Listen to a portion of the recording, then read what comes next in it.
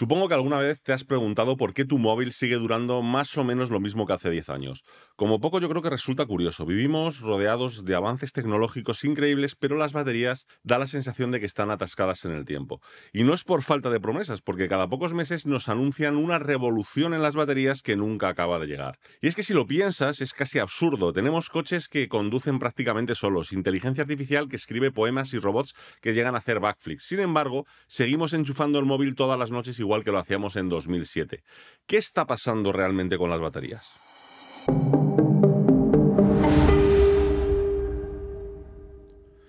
La cosa es que llevamos años escuchando pues todo el tiempo lo mismo, que si baterías que se van a cargar en 5 minutos, autonomías de 1000 kilómetros para coches eléctricos, móviles que van a durar una semana, pero la realidad que vemos pues es muy diferente.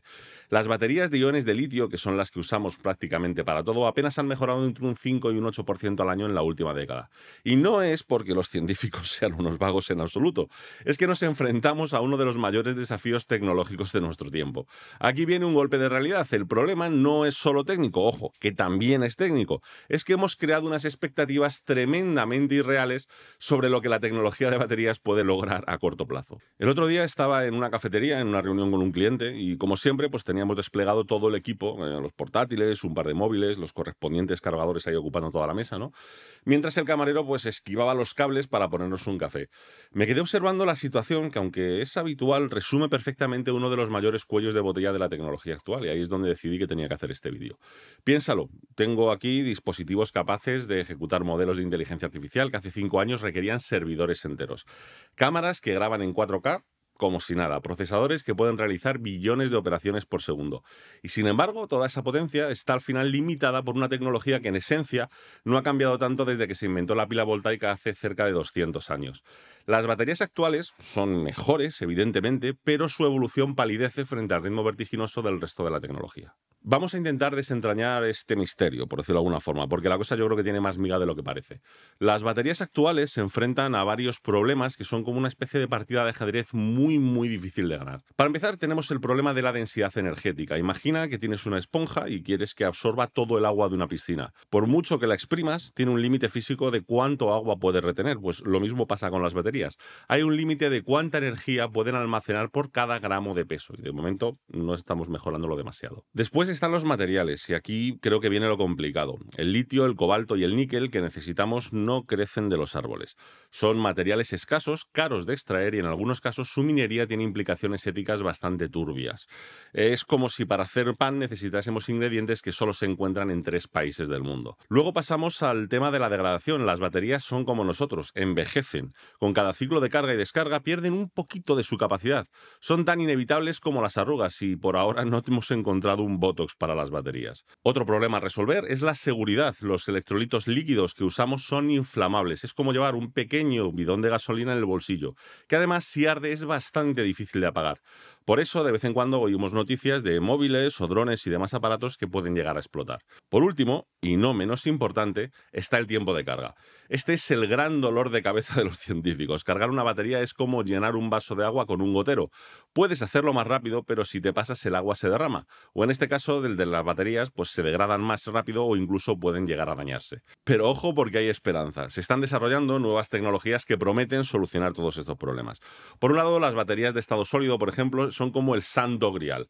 Más seguras, más densas energéticamente y se cargan mucho más rápido. En este caso, por ejemplo, Toyota y Quantum Escape están invirtiendo miles de millones en desarrollarlas. También están las baterías de grafeno, tema del que por cierto hablaremos esta misma semana, que promete tiempos de carga ultra rápidos y las de litio-aire que podrían multiplicar por 5 la capacidad de almacenamiento. Sin olvidarnos, por ejemplo, de las baterías de flujo, que son perfectas para almacenamiento a gran escala en plantas solares y eólicas.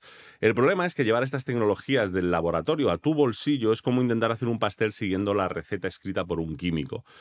El papel todo lo aguanta. En un mundo ideal todo debería funcionar, pero cuando intentas hacerlo a escala industrial, pues es donde empiezan los verdaderos quebraderos de cabeza. Y aquí viene la pregunta del millón. ¿Por qué nos cuesta tanto avanzar? Bueno, pues la respuesta tiene que ver con algo que llamamos el Valle de la Muerte Tecnológico. Es ese espacio entre el laboratorio y la producción masiva donde mueren muchas, pero muchas de nuestras buenas ideas. Verás, no es lo mismo hacer una batería perfecta en un laboratorio que fabricar millones de ellas de una forma consistente, segura y económica. No es lo mismo que la batería esté manipulada por un ingeniero en un entorno ideal, a que esa misma batería esté instalada en un todoterreno pegando saltos en una montaña nevada. Es la misma diferencia entre hacer una paella para dos personas y hacer paellas para todo un restaurante. La receta técnicamente es la misma, pero la logística es un mundo completamente diferente. Además, nos enfrentamos a un problema de expectativas infladas. Los medios de comunicación, las startups buscando inversión y, bueno, seamos honestos y sinceros, nuestra propia impaciencia, han creado una burbuja de promesas que no se ajusta para nada a la realidad científica.